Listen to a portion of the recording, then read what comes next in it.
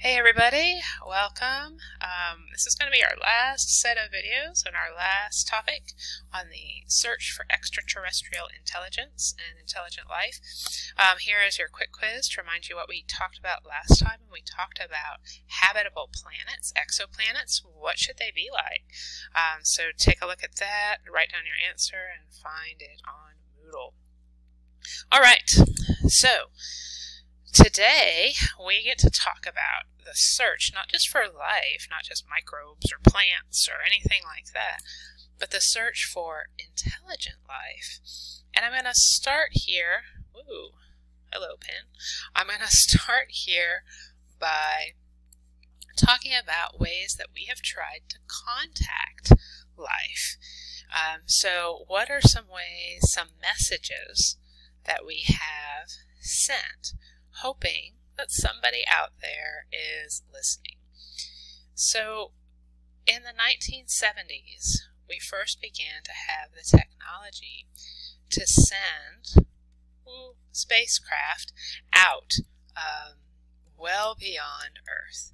And so, this was a time when we actually sent quite a few messages hoping that somebody was listening, um, that somebody could find them and interpret them. So we're going to look at three examples. Um, the first one came from the Pioneer spacecraft. So the Pioneer spacecraft were launched in the 70s.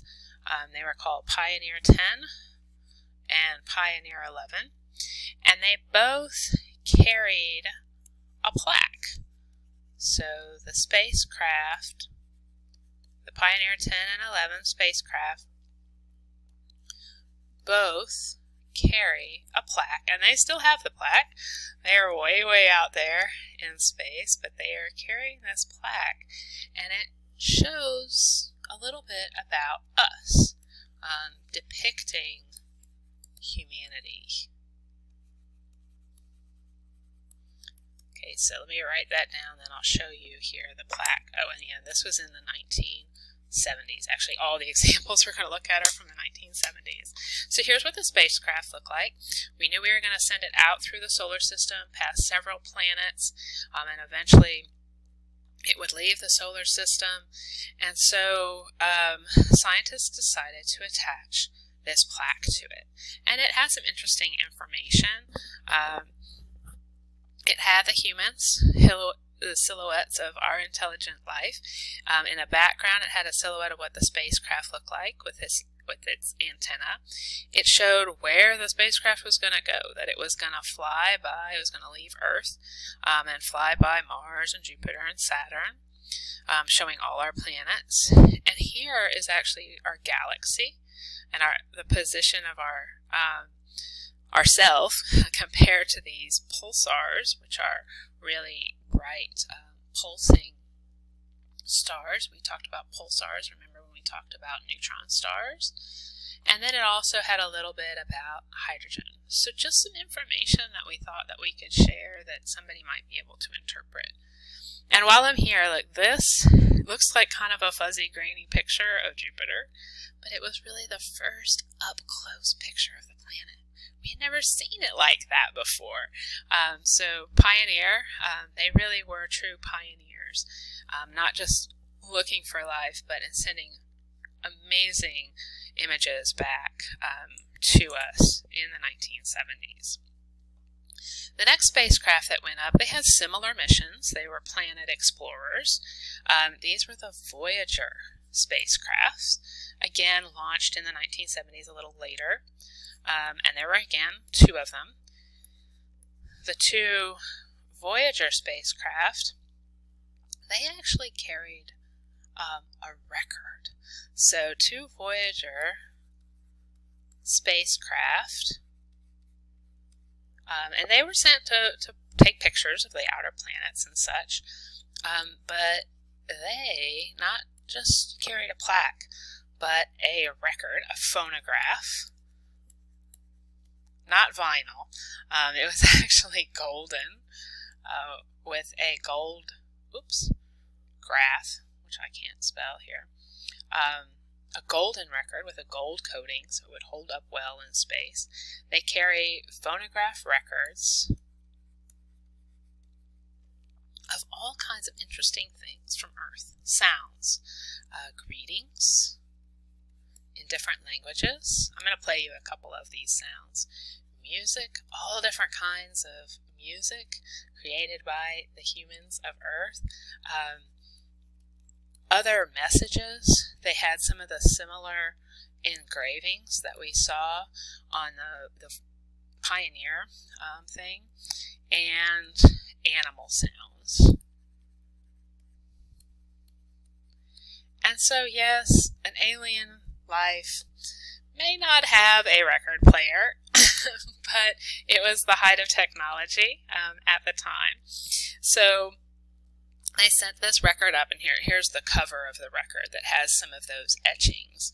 Um, here, those pulsars, that hydrogen atom, some other information um, that we thought that intelligent life might be able um, to interpret.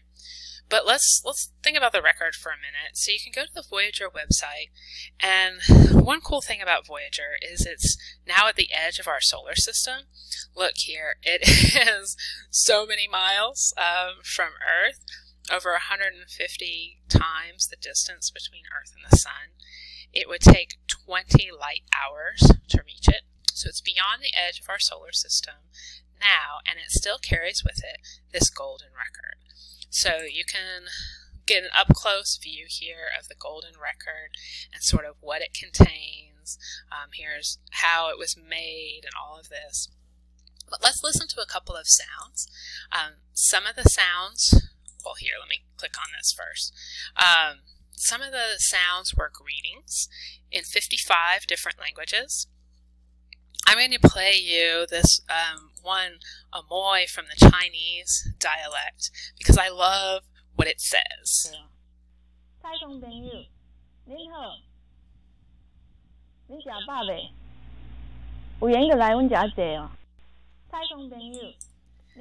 So you can read the translation there.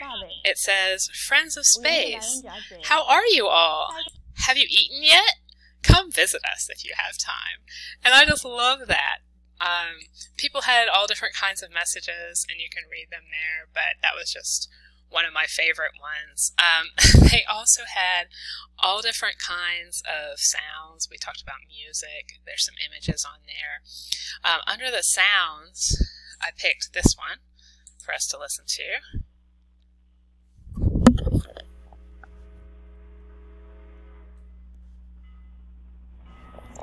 So they have a lot of human um, sounds, um, animal sounds, all kinds of interesting things, um, earth sounds that you can listen to there. So that's kind of a cool thing um, that we sent out there to the stars. Um, so I wanted to share that with y'all. So that was Pioneer, sent the plaque. Voyager went a step further and sent some sounds and images. And then we also, in the 1970s, sent a radio message. So this is a radio message that came, that was sent by the Arecibo Radio Telescope. This, at the time, was the biggest radio telescope in the world. Now there's one that's a little bit bigger in China. Um, it's so big, it's built into the side of hills. Um, it doesn't even move. Telescope. So the Arecibo radio telescope beamed out a radio message to the stars, specifically to a cluster um, of stars, place where we know that there's a whole bunch of stars very close together. This star cluster is called M13. That's just the name of it. You can find it in the night sky. This was in 1974. And so this was a pretty interesting message. Let me show you a picture of the telescope. Here it is.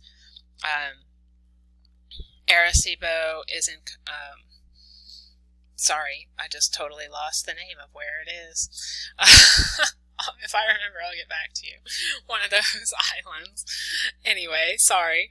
Um, but it sent out this message and it contained numbers, and this was all in binary. So this is a pictorial representation of what it looked like, but it was actually all these colored dots would be ones, and the black spaces would be zeros. So we sent out this binary message. It had numbers 1 to 10. Look at this. You should notice here something familiar. We talked about those elements that make up most of life on Earth. Here they are, right? There's five of the six um, that we talked about. Here are some of those molecules, especially some of those carbon-based molecules, the chemistry of life. Here's our DNA, right? Here's that human shape again, like the plaque. The solar system um, and what the observatory looks like and sort of its uh, scale um, and its size. So this was really, really cool um, message. But, okay, we sent it to the star cluster M13. M13 is 50,000 light years away. That's right. So, we sent this in 1974. It's barely gone anywhere. Um, it has not reached these particular stars yet. Um, so, it will take time for the message to get there and time for the message to get back. But now we're thinking about sending a new message. Um, so scientists are ready to do this again and, and send more messages out to the stars. We don't just send messages, though. We actually listen as well. And so that's another piece of this search for intelligent life is seeing if anybody else is doing um, what we did with Arecibo in 1974. And the main people doing this listening, sorry, listening for life, the main people doing it are the SETI Institute, the Search for Extraterrestrial Intelligence, S-E-T-I, um, and they have a set of telescopes called the Allen Telescope Array, and the Allen Telescope Array spends a lot of time listening. Um, it spends time looking at other astronomical objects as well. There's some pictures of the telescopes. Excuse me. It is located in California.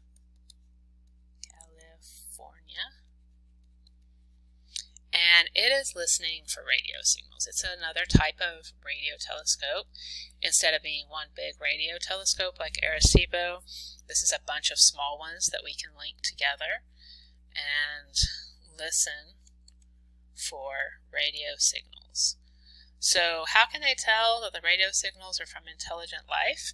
Well, they're looking for patterns, um, essentially. Uh, they things that seem unnatural. A lot of things, like pulsars, do put out very regular um, pulses, but looking for something different uh, than that. SETI is another one of these that we talked about with the exoplanets where you can get involved at home. Your computer can actually analyze some of the signals from these telescopes looking um, for patterns. Um, there's kind of, there's sort of an old uh, fiction book now and a really old movie called Contact uh, that talks about the lady, a lady named Jill Tarter. She's fictional in the book, but there's a lady in real life um, who began this search. And so I recommend Contact. It's a cool book that's based um, on her life. So that is a little bit about what we do to search for extraterrestrial life. Um, we send messages, we listen, all that good stuff. So I'm going to leave it there, and then our last video will be about what are the chances that there's actually life out there.